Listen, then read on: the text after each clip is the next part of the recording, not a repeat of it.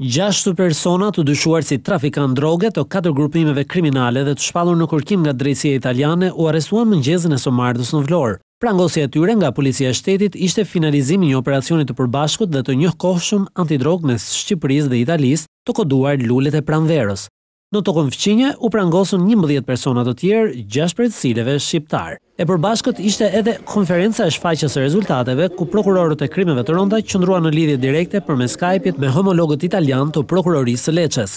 Ky operacion është shtrirë në disa drejtori vendore të policisë së vendit në Shqipëri, si Durrës, Vlorë, Lezhë etj. Gjatë harkut kohor të mbi dy viteve, nën drejtimin e Prokurorisë për Krime të Rënda Tiranë, Te krimet e rënda, prokurorët e Leçes bashkëpunuan me prokurorët Përparim Kulluri dhe Pranvera Pustina. Për këtë hetim, drejtësia italiane nxori njëzet e shtatë masa sigurimi arrest në burg, nga të cilët njëzet e një shqiptarë dhe gjashtë italianë.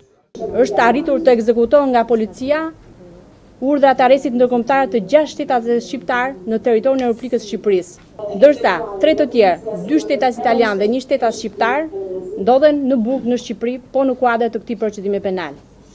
Në Itali janë arrestuar gjithsej dhjetë shtetas, nga të cilat pesë shtetas shqiptarë dhe pesë italianë, ndërsa një shtetas shqiptar ndodhet në burg në Mal të Zi, po për llogari të këtij procedimi penal, si dhe janë shpallur në kërkim shtatë shtetas të tjerë.